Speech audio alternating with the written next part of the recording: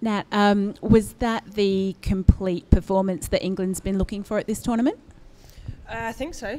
Um, yeah, I mean to to I guess put the pressure on them as much as we could with the bat and the ball and in the field. I think that's yeah something that we've been looking to do over this tournament, but not quite got it all right um, so far. But yeah, I think that was pretty good. Yeah. And um, is it feeling like you're confident you can now repeat that in the knockouts? Yeah, I hope so. Um, I mean, you never know what the wicket's going to do when you turn up, and um, yeah, there's always a little period of adapting and seeing, I guess, what what's happening. But yeah, I think everyone's got the confidence that, that we can, I guess, repeat that and, and hopefully, yeah, take it one step further. And I guess you had other players stepping up. So Danni back in the runs, Katherine and Charlie back in the wickets. I mean, does that sort of say something about the the depth? And we know you've had it, but the use of your depth as a team.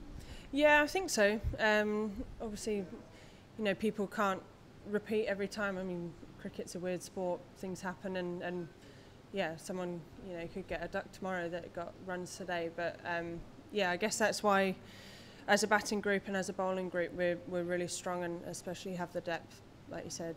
Um, and yeah, just on any day, we're we're confident that someone will stand up. Bismillah ar-Rahman rahim Imran Ahmed from Pakistan. Congratulations to made a biggest, highest score record in T20 World Cup history for women. You are most favorite team of this event. What is the strategy of your semi-final match? Very will be crucial match. What is your strategy?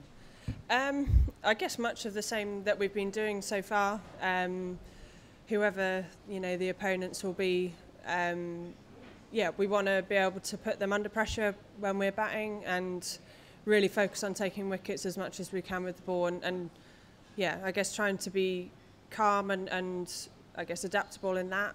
Um, you know, team, teams can always come at us and um, yeah, I guess it's how we um, react to that and yeah, put the pressure back on them. Nat, Nat, you're currently the leading tournament run scorer, and Heather Knight's recently described you as the best player in the world. Do you agree? uh, that's a difficult question.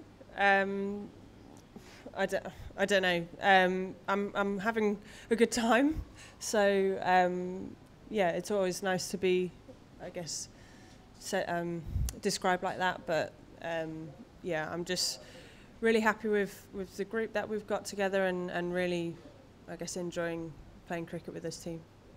What's going right for you? Um, well, I guess it's coming out the middle of the bat. Um, uh, today I hit, I think I hit more on the offside today than I have done previously, which I was quite happy with. Um, but yeah, I'm, I guess my technique's in a good place, but it's, it's probably more about the mindset and just continuing that as much as I can. Um, Hi, Nat.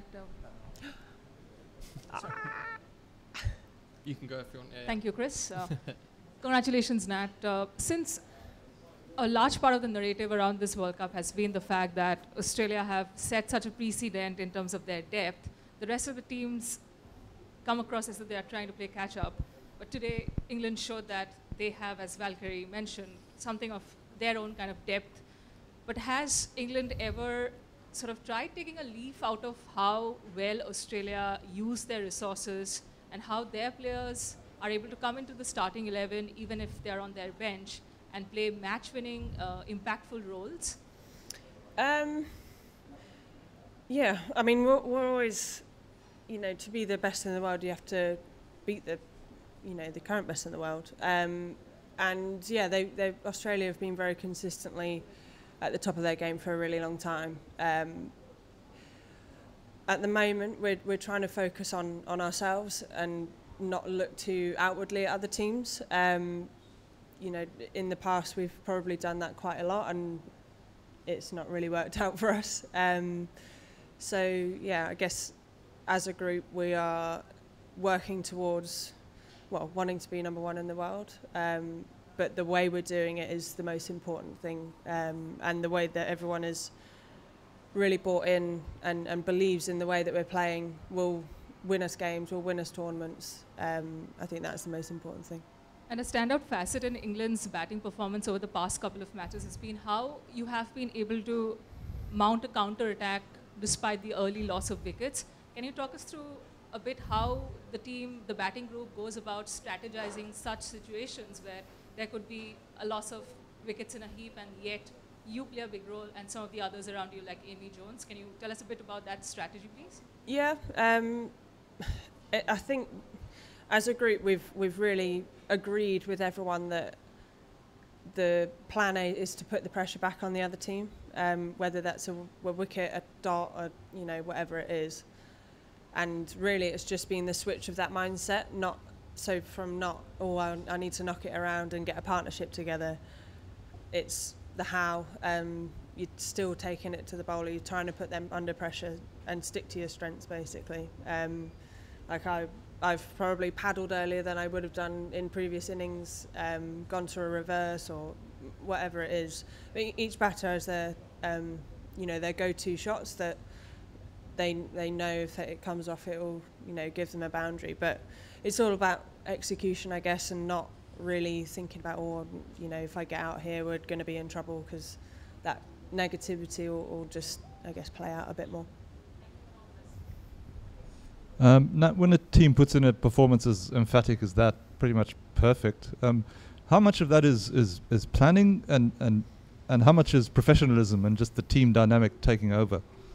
Um, that's a, a, hard one as well. Um, we, we did, I guess, sort of target this game to. Uh, previously in the tournament, I think we've been building up to a performance like this. We sort of targeted this game as a chance to show everyone as a team what we're about, and um, yeah, I guess it being the last game in our group as well. Um, it was yeah a free chance to show off a bit and, and I guess do the do the things that we do really well as a group.